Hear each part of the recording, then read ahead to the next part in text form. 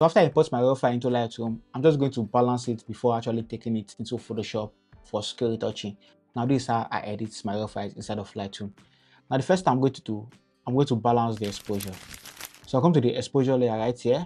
I feel this image right here is looking a bit too underexposed. So I just come to my exposure and just take the exposure up a little bit like this. Alright, so let this work for me. So another thing I noticed on this image, I feel the image is looking too warm.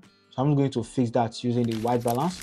So I'm going to come to this temperature right here. So if I take it towards the orange side, I'm making it look too warm. While if I take it towards the blue side, I'm just cooling it a little bit. So I'm going to take it towards the blue side just to cool it down a little bit so that this works for me.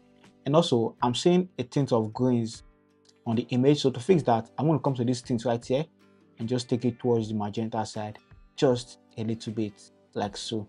And the next I'm going to do, I'm going to come to the highlights and just take down the highlights a little bit just like this right?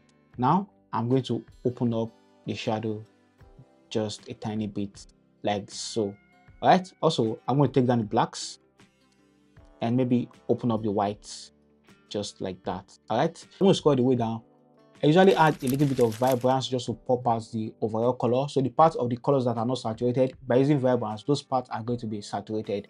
So instead of using saturation, I prefer just use vibrance. All right, so I want to come to vibrance and just push the vibrance up a little bit, just like this. So next I'm going to do, I'm just going to add contrast to this image. So I'm going to come to my curves and just create an S curve to add contrast to this image.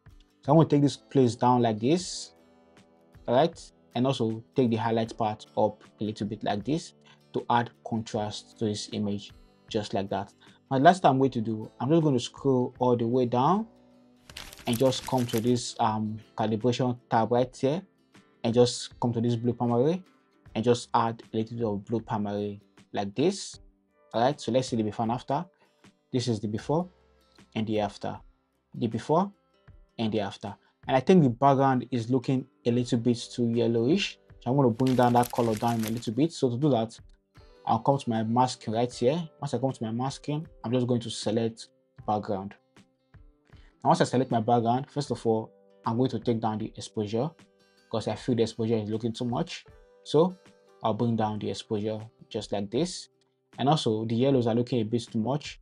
I'll scroll the way down, come to my saturation, and just desaturate the background a little bit just like this. So see the before and after for the background see the before and the after. The before and the after. And for me what i'm going to do i'm just going to open this image inside of photoshop and just do this retouching so i'm going to right click and click on edit in and click on edit in adobe photoshop. And if you want to watch how i edit this picture inside of photoshop check this video right here. I'll see you guys in my next one. Stay creative